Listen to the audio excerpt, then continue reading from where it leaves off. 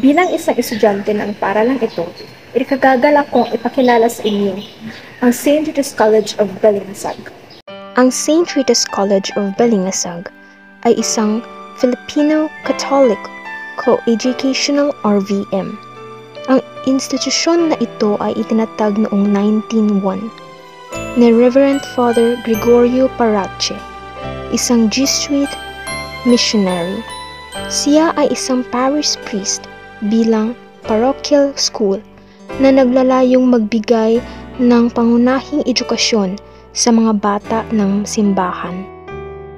Noong 1929, ang parochial school ay formal ng pinangalan ng St. Rita School bilang karangalan kay St. Rita de Cassia, ang patronis ng simbahan.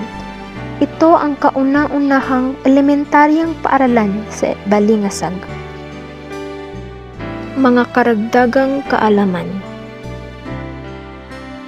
Ang St. Judas College of Balingasag ay isa sa mga pribadong eskwelahan sa Balingasag. Ito rin ay isang Mayan school kung saan na mataas ang kalidad ng pagtuturo. Ang nagpapalakad rito ay ang mga madre. At dahil naman sila ang nagpapalakad, ito ay nakasentro sa relihiyon ng Roman Catholic. Ito rin ay PASCO accredited, kung saan ito ay ang nag-iisang eskwelahan mula sa Misamis Oriental na napasali sa programang GA Philippines. Maraming kautusan ang pinapalakad ng eskwelahan upang mapanatili ang kaayusan, katulad na lamang ng no permit, no exam policy. Napaka-importante rin ng ID sa pagpasok sapagkat ito ang susi para malaman na ikaw ay estudyante ng St. Judas College of Balingasag.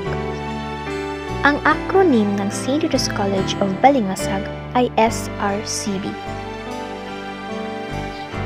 Ang kulay na rumirepresenta sa St. Judas College of Balingasag ay puti at blue, kung saan ito ay sumisimbolo sa kulay ni Mama Mary.